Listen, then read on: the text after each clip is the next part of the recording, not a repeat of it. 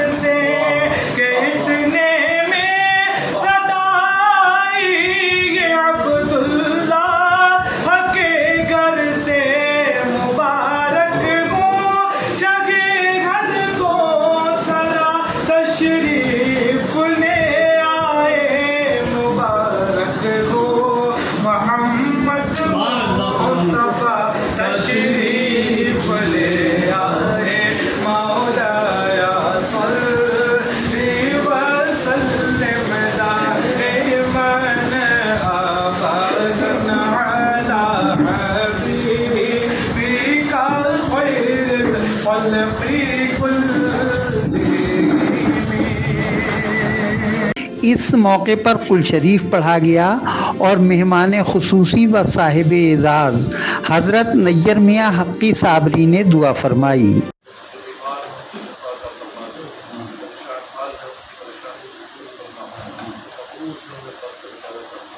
اللہ صاحب خانہ کے علم میں عمل میں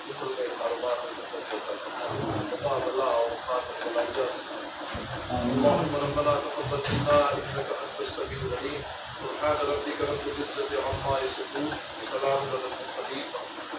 قل شریف و دعا کے بعد سبھی حاضرین کی خدمت میں پرتکلف صابری لنگر بھی پیش کیا گیا۔ اس دوران امام شہر مراد آباد Hazrat Hakim Syed Masoom Ali Azad, all India Khanqahi Ekta mission کے کنوینر اور درگاہ حضرت سیدنا شاہ مکمل صاحب رحمۃ اللہ علیہ کے سجادہ نشین، الحاظ سید شبلی میاں مکملی، مشن کے فاؤنڈر جنرل سیکریٹری اور درگاہ حضرت سلطان صاحب صاحب رحمۃ اللہ علیہ کے سجادہ نشین متولی و صدر سید محمد علی نعیم چشتی صابری سلطانی، مشن کے نائب صدر اور درگاہ حضرت سیدنا شاہ مکمل صاحب رحمۃ اللہ علیہ کے سجادہ نشین، الحاظ سید احمد کمال، المعروف سید گلو میاں مشن کے نائب صدر اور درگاہ حضرت حافظ سید باقر علی شاہ نقشبندی قادری، المعروف حضرت پہلوان شاہ صاحب رحمۃ اللہ علیہ کے سجادہ نشین حافظ افتخار حسین چشتی صابری جی، درگاہ حضرت سیدنا شاہ مکمل صاحب رحمۃ اللہ علیہ کے سجادہ نشین، الحاج سید سرور میاں مکملی،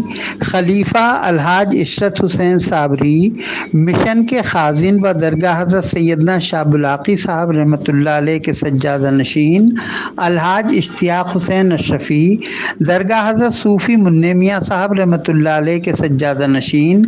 صوفی وسیم احمد قادری چشتی، نیرج چوپڑا، حافظ محمد اعظم،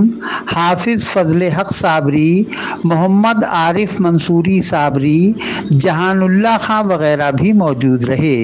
حضرت نیر میاں صاحب اکیس جون کو بروز جمعہ مراد آباد تشریف لائے تھے۔ بائیس جون کو موصوف نے امروہہ میں ایک روحانی تقریب میں شرکت فرمائی اور تیئیس جون کی صبح آپ مراد آباد واپس تشریف لے آئے۔